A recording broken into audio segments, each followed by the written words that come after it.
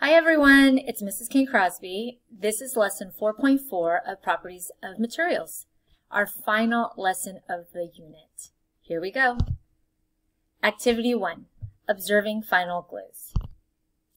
After all our hard work designing glue for school use, today we'll get to write to the principal. First, we will observe the frames we made with our final glues. Remember, you guys did this from your last lesson. Pick up your picture frames gently to observe them. Most picture frames will break if you apply a lot of pressure, so be gentle. Now turn to this page in your packet. Observe the picture frame you made. Record your evidence about how well your glue met each design goal. Now it's okay if your frame broke, because observing carefully is the important thing. So now, what observations do you have about the picture frames and final glues? Now, let's go back to this page and think about our design goals. The title of this page is Final Glue Observations. Did your glue meet the goals of being sticky and strong? What is your evidence? So our first design goal, sticky and strong. And the evidence that goal was met was that flour and water made my glue sticky and strong. Now, did your glue meet the design goal that we chose together as a class, which was thick? And what is your evidence? Well, the evidence that we got was that flour and water also made my glue thick. Lastly, did your glue meet the design goal that we chose, which was dry clear? And what's your evidence there? We found out that gelatin helped make my glue strong and clear. Which glue ingredients helped you get the specific properties you wanted? Let's think about this. The flour and water made our glue sticky, strong, and thick, and gelatin helped make it strong and dry clear. The observations we made will help us complete our letters to the principal in the next activity. Activity 2, writing a letter to the principal. Here is a letter from your principal.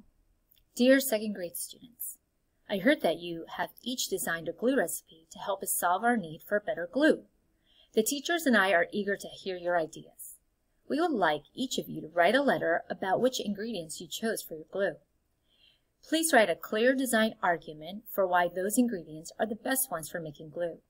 It will be very important for you to provide evidence to support your claims. You may also share your ideas about how the glue should be packaged. Thank you for your hard work. We are looking forward to reading about your glue recipes. Sincerely, your principal. Now you will write back to the principal in letters of your own. And in your letter to the principal, you will write a design argument that presents your design goals, tells about your glue mixture, and explains how your glue meets your design goals. Find this page in your packet. It's a checklist for you. It's titled, What is a Design Argument? It has four different things that we need to hit. Number one, it answers a question with a claim about what best meets the design goals. Number two, it connects evidence to each of the design goals. Evidence can be observations, information from tests, ideas from books. Number three, it uses scientific language. And number four, it is written for an audience. You see, written for an audience is highlighted because this is a new guideline for us. You will need to keep your audience in mind as you write. And remember, your audience is the principal. Now, find these pages in your packet. These pages will help you write the letters to the principal.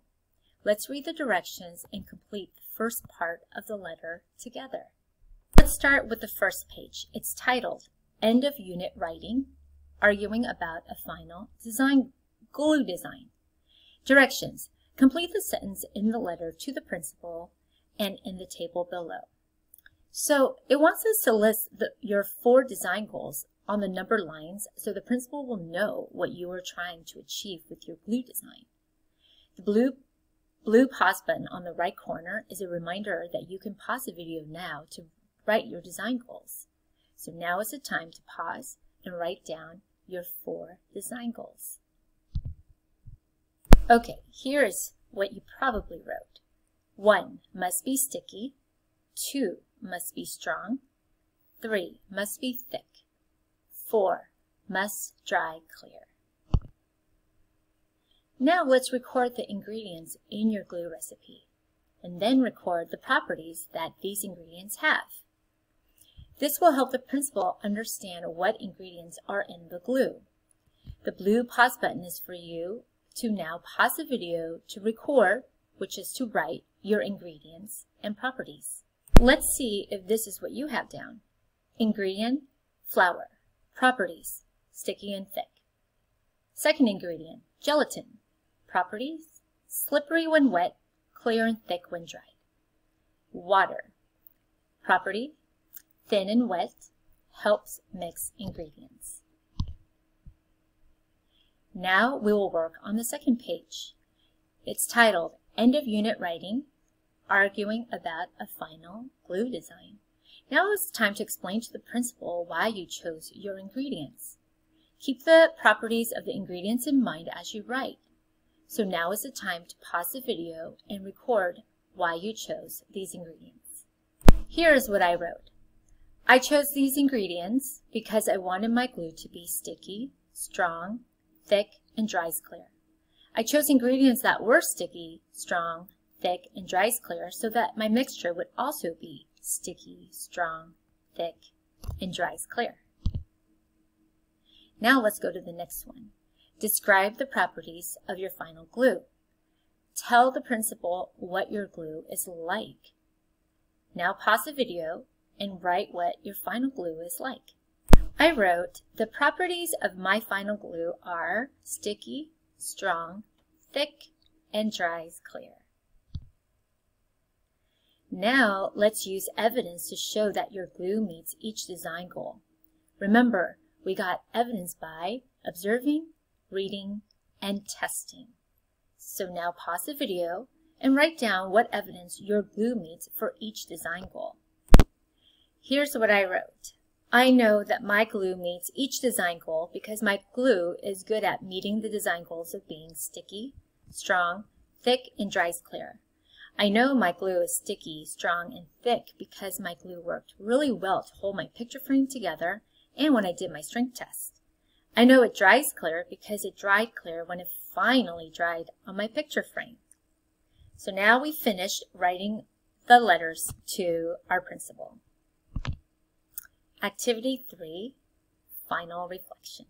Let's go back to our unit question. How can you design a mixture for a certain purpose? What was the purpose that we designed our mixtures for? The purpose was for school use. And to answer a unit question, remember what we did to design glue. How can you design a mixture for a certain purpose?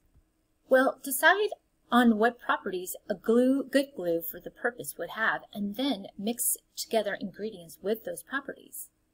We learn a lot about different ingredients, plan the mixture, make it, and test it. Sometimes we may go through the cycle a few times. Take a moment to think about designing glue mixtures and what you've learned. What ideas do you have about what we learned? As engineers, we have learned about a problem, and through planning and testing, we have made something new and improved that will solve the problem. Designed and made glues that meet our design goals, which will help solve the school's need for improved glues.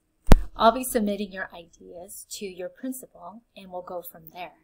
Hope you enjoyed this unit and learned a lot about properties of materials. Great job, glue engineers!